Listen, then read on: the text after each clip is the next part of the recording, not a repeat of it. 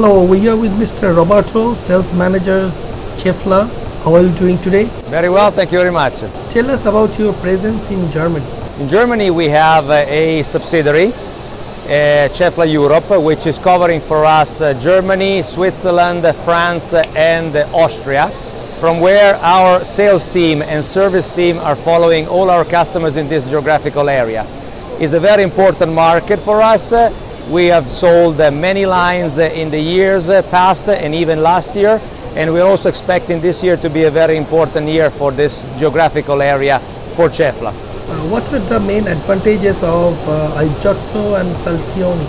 The iGiotto that you can see on my back is a revolutionary uh, way of spraying assembled uh, windows with a very flexible uh, way. So the robot itself is able to read the dimension, the geography of the pieces and automatically assign a recipe to spray uh, automatically the, uh, the product. We can also change uh, frequently the color so again for flexible production and for uh, smaller batches as today customers are requesting it is a very suitable solution. Okay, as I can understand, iGiotto made uh, spraying now very easy. Uh, if you can tell us briefly how easy it is. Yeah, uh, we have got a uh, photocell barrier which is reading all the dimensioning of the pieces, either if it's assembled uh, window or if it's a element uh, of the window. We are reading uh, the pieces and we are able to spray automatically the uh, parts without having to program the robot itself because the Cefla software is able to uh, adapt this uh, to the um, to the spraying uh, application. As you know, the, the biggest Italian show Xylexpo is, is in couple of months. Uh, what what is your expectation from the show, and if you can tell us briefly about your market in Italy? We have got very high expectation this year on Expo. We are presenting ourselves with uh, several new technologies uh, where we are pointing hard on the innovation. We are going to present uh, an innovative spraying solution with two anthropomorphic robots and also a revolutionary cleaning system for the panels.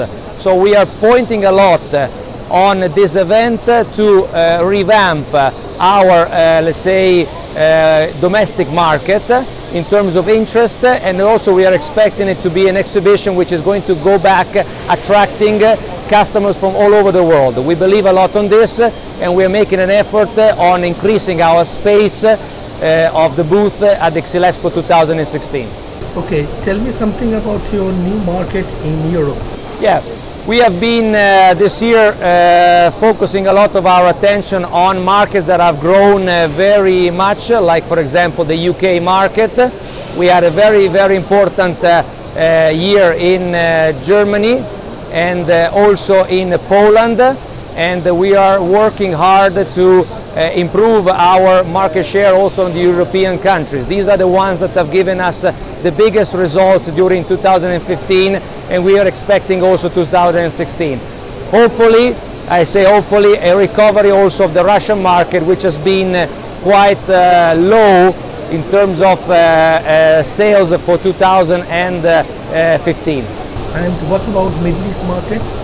Middle East is a market that has been very important for Cefla in the past. We see very interesting today the opening of the Iranian market as being a market where a very important market with a high population, uh, big demands, and I hope the uh, closing of the embargo could allow us to do uh, business as we are expecting from such a country. Dubai itself, the Emirates itself, has always been good for us.